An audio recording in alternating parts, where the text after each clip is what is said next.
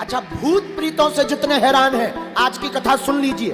आप अपने घर के अंदर राम जी को स्थान दे दीजिए, राम जी का निवास बना दीजिए, राम जी के द्वार पर हनुमान जी रक्षा करते हैं, हनुमान जी अपने आप तुम्हारे घर के रक्षक बन जाएँगे।